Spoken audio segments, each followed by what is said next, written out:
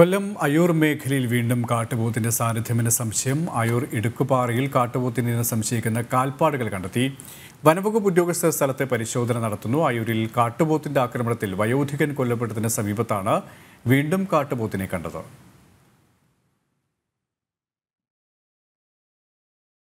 ചടയമംഗലം പഞ്ചായത്തിലെ ഇടുക്കുപാറ ഭാഗത്ത് കാട്ടുപോത്തിന്റെ സാന്നിധ്യം കണ്ടതായിട്ട് പ്രദേശവാസികൾ പറഞ്ഞു.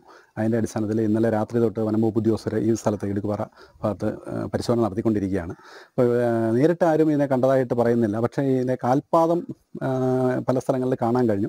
അപ്പോൾ അത് കാട്ടുപോത്തിന്റെ ആണെന്ന് സംശയിക്കുന്നുണ്ട്. അപ്പോൾ അതിന്റെ അടിസ്ഥാനത്തിലാണ് വനംവകുപ്പ് ഉദ്യോ- ഉദ്യോഗസ്ഥർ ഇവിടെ പരിശോധന നടത്തിക്കൊണ്ടിരിക്കുന്നത്. ഇത് കാട്ടുപോത്തിനെ കാണുകയാണെങ്കിൽ ജനങ്ങൾക്ക് ബുദ്ധിമുട്ടുണ്ടാകാത്ത രീതിയിൽ ഇതിനെ മയക്കുവെടി വെച്ച് മയക്കി തൊട്ടടുത്ത വനപ്രദേശത്തേക്ക് മാറ്റാനുള്ള നടപടികളും ആരംഭിച്ചിട്ടുണ്ട്. കൂടുതൽ വിവരങ്ങളുമായി സുധീഷ് ഗോപാൽ ചേരുകയാണ്. സുധീഷ് വനവകുപ്പിന്റെ പരിശോധന ഈ ഒരു മേഖലയിൽ എങ്ങനെയാണ് പുരോഗമിക്കുന്നത്? ജനങ്ങളും വലിയ ആശങ്കയിൽ തന്നെയാണോ? ഈ സുരേഷ് കഴിഞ്ഞ ഇന്നലെയാണ് അഞ്ചൽ ഭാഗത്ത് ഇത്തരത്തിൽ ഒരു കാട്ടുപോത്ത് ഇറങ്ങുകയും വർഗീസ് എന്ന ആളെ കുത്തി കൊലപ്പെടുത്തുകയും ചെയ്തത്. അതിന് പിന്നാലെയാണ് വീണ്ടും കാട്ടുപോത്തിന്റെ ഒരു സാന്നിധ്യം നാട്ടുകാർ പറയുന്നത് അത് വലിയ രീതിയിലുള്ള ആശങ്കയാണ് ഉന്നയിക്കുന്നത്.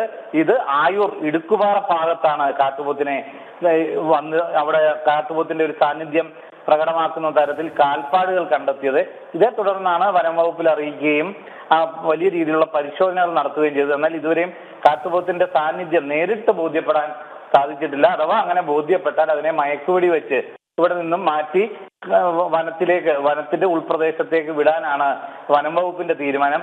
എന്തു തന്നെയായാലും ഈ കാട്ടുമൃഗങ്ങൾ ജനവാസ കേന്ദ്രങ്ങളിലേക്ക് ഇറങ്ങുന്നത് വലിയ രീതിയിലുള്ള ഒരു ആശങ്കയാണ് കൊല്ലം ജില്ലയുടെ വിവിധ ഭാഗങ്ങളിൽ ഇപ്പോൾ ഉണ്ടാക്കിക്കൊണ്ടിരിക്കുന്നത്. കാട്ടുപന്നിയുടെ ശല്യവും ഇതേ സാഹചര്യത്തിൽ തന്നെ വിവിധ മേഖലകളിൽ ഉണ്ടാകുന്നുണ്ട് ഈ ഒരു പശ്ചാത്തലത്തിൽ ജനങ്ങൾ വലിയ ആശങ്കയിൽ തന്നെയാണ് കെ പി സുരേഷ്.